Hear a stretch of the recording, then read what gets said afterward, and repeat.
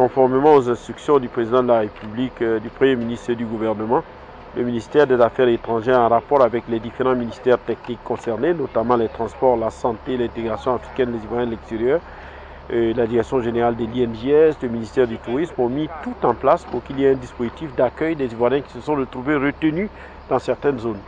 Euh, nous avons commencé hier avec un premier vol qui est venu de Dakar. Aujourd'hui, nous avons euh, deux vols qui viennent de Cotonou avec 62 personnes et un autre vol qui provient de Bamako avec 72 personnes. Demain, nous aurons le deuxième vol du Sénégal avec 74 personnes environ. Et la semaine prochaine, il y aura les vols d'Afrique du Nord et d'Afrique centrale.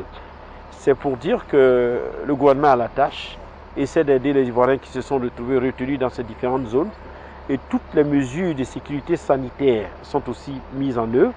Vous voyez, dans l'avion, la distanciation est respectée. Dans les cars de transport, la distanciation est respectée. Ici, à l'INGS, cette même distanciation est respectée, de telle sorte que les différentes personnes puissent euh, subvenir à leurs différents besoins dans des conditions optimales.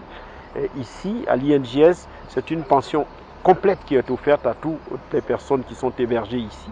Et je voudrais ici saluer et tout l'engagement de toutes les ambassades de la Côte d'Ivoire à l'extérieur, de tous les différents personnels des différents ministères qui nous ont accompagnés pour que cette mission euh, puisse vraiment être un succès.